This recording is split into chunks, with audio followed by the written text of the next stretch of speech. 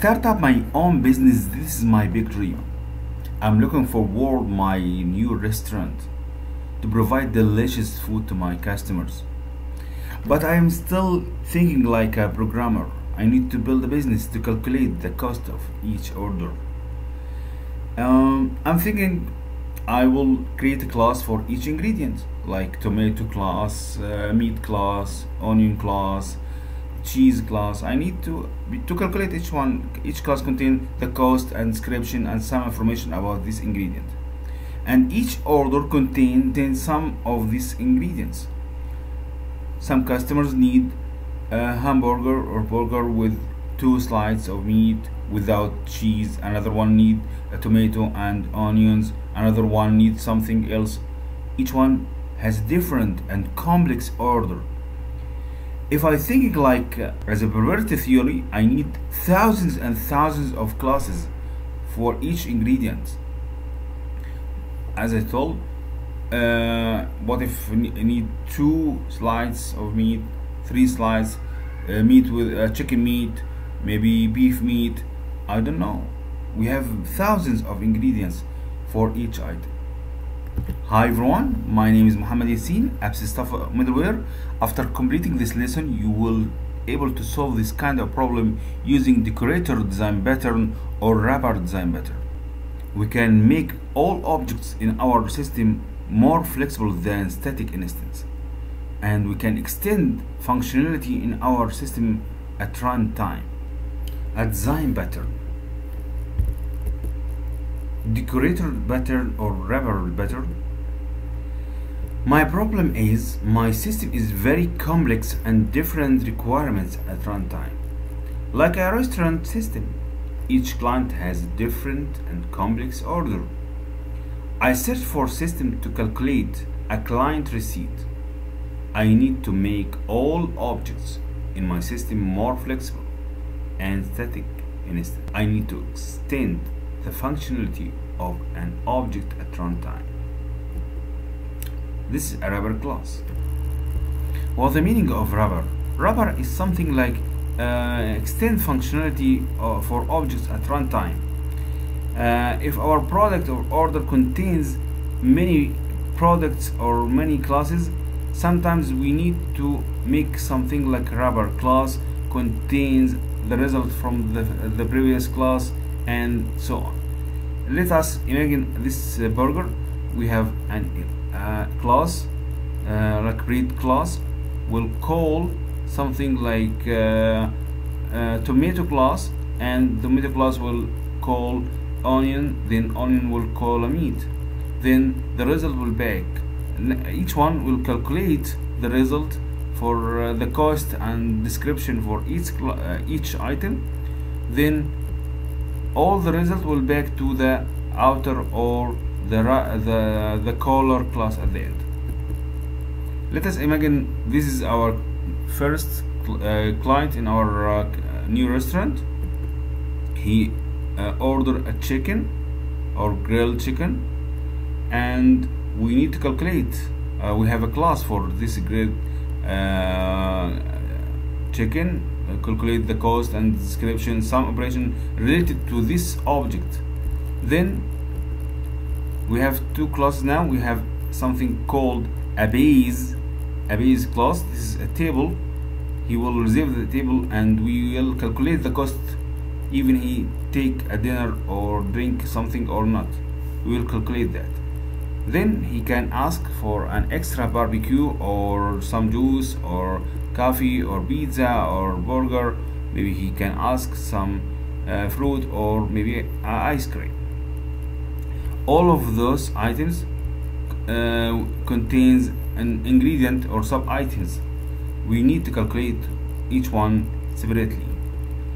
Even inside the item itself like if he ask for uh, a coffee maybe he need to add something extra for his coffee. Maybe he need to add some chocolate or maybe he can add milk or maybe he can add a sugar one or two or three parts of sugar in his coffee then we need to calculate a receipt for each client. This is called aggregate objects. We need to aggregate the objects. We have one object contains many objects inside the, uh, this object. What about restaurant decorator? Uh, if we see we have a, a, a decorator class this is something like a kitchen contains many ingredients inside this kitchen like uh, a coffee juice milk food many things. This is we will cook inside the decorator class prepare our food in inside the decorator class each ingredient has cost and description in, in, in the receipt to, to, to calculate the cost. We have something called base component like a table. In restaurant any class any any client should reserve a table even he will take a dinner or not. Even if he doesn't eat or drink he will be for cost to reserve this this table. The interface is a, a restaurant policy uh, will apply uh, for all uh, restaurant uh, ingredients and components and service so that we will apply one interface for these all ingredients like this. Like we need to calculate the cost and description and do some operation about each ingredient or item. Then the client can use the complex order. Maybe he reserve a table plus he will choose some food and some drink and drink a coffee and milk. Now we uh, another one he need only drink uh, milk. The, the third customer or client he need only to um, take a sandwich or a pizza so that we need calculate these complex orders for each one. And as we see now we can make very complex operations and we can extend the functionality at runtime. Like this example we have a pizza. Pizza contains a dough. Dough contains the meat. Meat contains a tomato. Tomato contains an onion.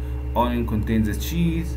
Cheese contains a table we calculate and make operation in this table and get the result for cheese and calculate all this result and give the result to wrapper class onion. Then onion calculate all this is operation and give the result to the tomato. Tomato will give the result to the meat. Then at the end we calculate the cost of all those components in the same time now let, let us use the UML to describe the decorator design pattern. We have an interface called restaurant contains the cost and descriptions. And we have two classes concrete class called table this is a concrete class. And we have uh, abstract class.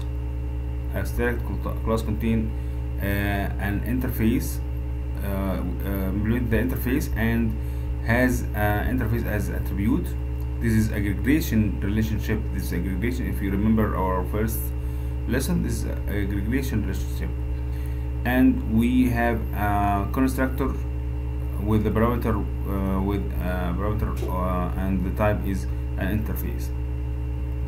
Now we have uh, many uh, abstracted uh, we have concrete classes like juice milk fruit doubt. We have many ingredients or components. This component um, extend the decorator class so that extend the decorator class like what we see now. Let us see our example. Uh, I think it's very easy now to understand uh, the decorator class let us start now our example. Uh, this is our UML diagram no problem. Uh, the first we have an interface called a restaurant. Contains cost and description. We have two operations now the get a cost and get description. Then we have two one one concrete class implement the interface and the another one abstract class implement the interface. About the table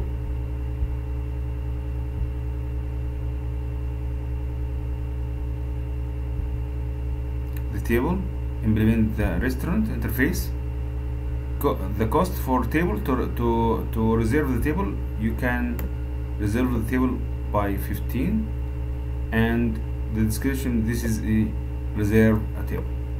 Okay. Then we implement the concrete or decorator uh, abstract class this abstract class is the kitchen for our decorator class the decorator class is abstract and implement the restaurant contains a protected attribute called ingredient with uh, uh, restaurant. Then we have a, a constructor. Take a restaurant as a parameter and assign the value to ingredient. Then the interface will the cost will return the cost return uh, ingredient cost and the description will return ingredient description. The last thing we have now we can make any uh, item or ingredient or anything like this like a fruit fruit if we own the fruit. Fruit will extend the kitchen decorator.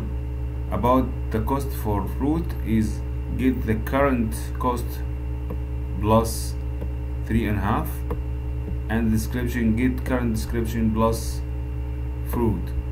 About the um, meat itself get current ingredient cost plus 10 and get current ingredient description plus with the meat. About the juice the same. About the cost return current cost plus 2 and the ingredient return current ingredient description plus juice and contain the constructor use super dot restaurant.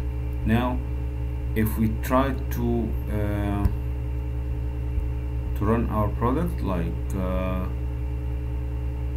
client A client A he need to take meat with fruit and vegetable and it will uh, reserve a table how we can run let us print the description and the cost.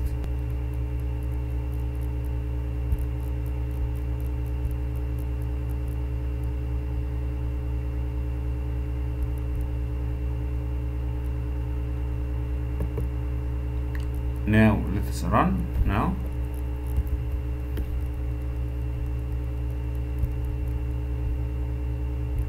we give us a reserve a table some vegetable and fruit with the meat. Total cost is 65 because he get a value from table then assign the value from table and vegetables and take a value to the fruit then return the value to the meat. Now we have all cost and description like this table value then vegetable value then fruit value then a meat value.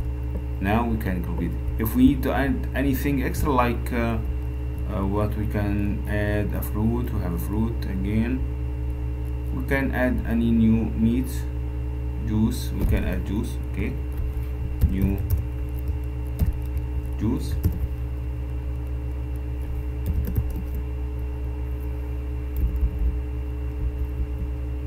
equal new meat like this.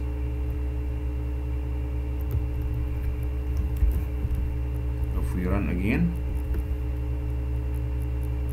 Now it will give us the total cost of reserve table then vegetable then fruit then meat then juice at the end. We can make more uh, flexibility and we can take a meat before the juice like this. And we can run.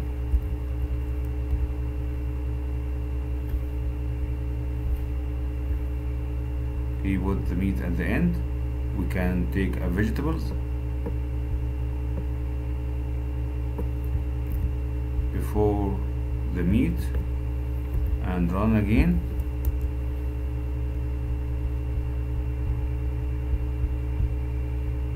result is vegetable at the end but it's the same value because we didn't add an extra ingredient or component now we have another example for client B client B will uh, have a have a menu and we can choose any product from menu like this.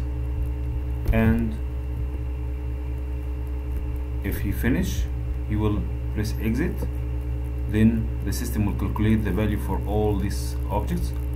And this is very flexible and uh, we can extend the functionality as we see. Now I will run the menu. I will choose one of the item from the menu. I will choose choose to reserve a table and I need uh, one I need the vegetable and I need another vegetable. I need uh, fruit then I need meat and I need meat and I need meat. Then this is I will exit. Now he calculate the value. Okay he calculate the value reserve a table and get a vegetable and vegetable and fruit and meat meat meat three times. This is more flexible more dynamic and Uh, extend for functionality in our system I think now achieve my goal and start my business. Thank you for follow me.